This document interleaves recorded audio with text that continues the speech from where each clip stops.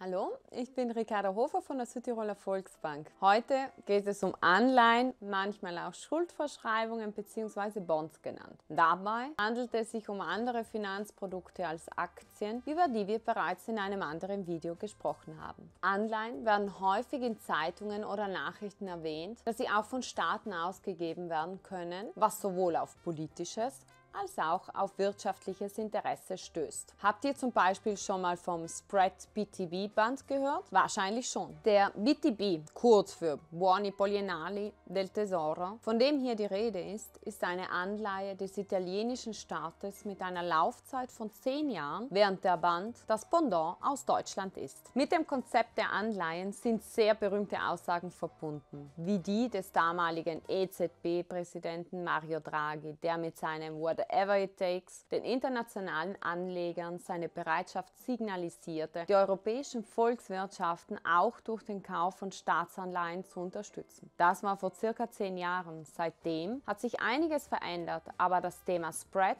ist nach wie vor aktuell. Beginnen wir mit den Basics. Eine Anleihe ist im Grunde genommen ein Darlehen. Sie hat eine feste Laufzeit und einen Zinssatz. Der Anleger bzw. Käufer der Anleihe leiht dem Herausgeber auch Emittent genannt, seine Geldmittel. Für den Emittenten der Anleihe ist dies eine alternative Finanzierungsmethode zu Bankkrediten. Diese Finanzinstrumente können nicht nur von Staaten, sondern auch von Banken, Unternehmen oder zwischenstaatlichen Organisationen herausgegeben werden. So zum Beispiel die jüngsten Next Generation EU Green Bonds, die von der Europäischen Kommission zur Förderung des Wachstums in den Mitgliedstaaten ausgegeben wurde. Anleihen können entweder festverzinslich oder variabel variabel verzinst sein. Festverzinsliche Anleihen werfen Zinsen ab, die auf der Grundlage eines vorher festgelegten Zinssatzes berechnet werden, der sich während der Laufzeit der Anleihe nicht ändert. Im Allgemeinen werden bei dieser Art von Anleihen Renditen in Form von Zinscoupons erzielt. Nehmen wir ein Beispiel. Wir wollen eine festverzinsliche Anleihe mit einem Zinssatz von 3,5% und einer Laufzeit von 5 Jahren kaufen. In diesem Fall erhalten wir jedes Jahr einen Zinsfluss Abschluss von 3,5% des Nennwerts der Anleihe, also jenem Betrag, den der Emittent dem Käufer der Anleihe schuldet.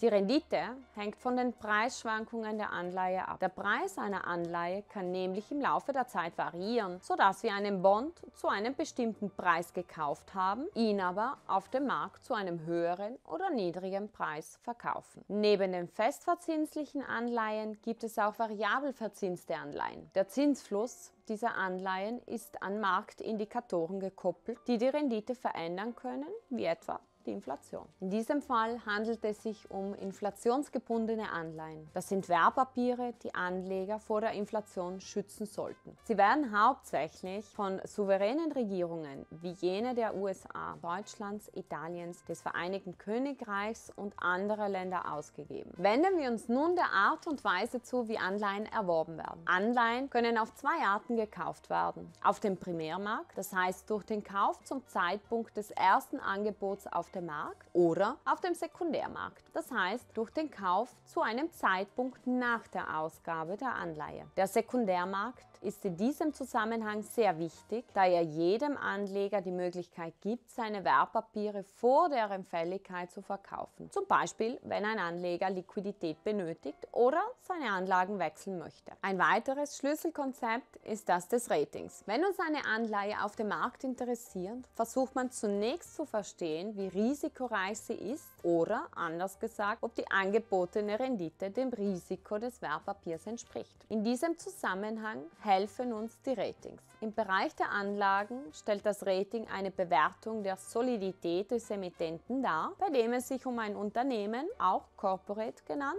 oder einen Staat handeln kann. Das Rating beurteilt die Solidität des Emittenten, das von spezialisierten und zugelassenen Unternehmen erstellt und veröffentlicht wird. Es ist ein nützlicher Indikator für den Anleger, um zu verstehen, wie risikoreich die Anlage ist. Vereinfacht kann man sagen, dass Ratings von spezialisierten Agenturen veröffentlicht und von professionellen Anlageexperten verwendet werden, um die Wahrscheinlichkeit der Rückzahlung von Schulden zu bewerten. Anleihenratings, die von AAA bis D reichen können, können je nach Agentur, die die Anleihe bewertet, variieren. Anleihen können von mehreren Ratingagenturen bewertet werden. Der Sektor ist jedoch ziemlich begrenzt, das heißt, es gibt nicht viele Akteure auf diesem Markt. Es gibt drei große Ratingagenturen, Fitch, Moody's und SP Global Ratings, die etwa 95% des Ratinggeschäfts kontrollieren. Die Ratings beruhen auf statistischen, makroökonomischen und politischen Analysen und berücksichtigen zahlreiche Risikoelemente. Die Existenz von Ratingagenturen und die damit verbundene Bewertung von Anleihen sind ein Versuch, den Anleihemarkt transparenter und zugänglicher zu machen. Und habt ihr schon entschieden, wie ihr eure Investitionen diversifizieren wollt? Wenn ihr mehr über Investitionen erfahren möchtet, schaut euch auch unsere anderen Videos an. Und wenn ihr euch für den Aktienmarkt interessiert, haben wir ein weiteres Video für euch.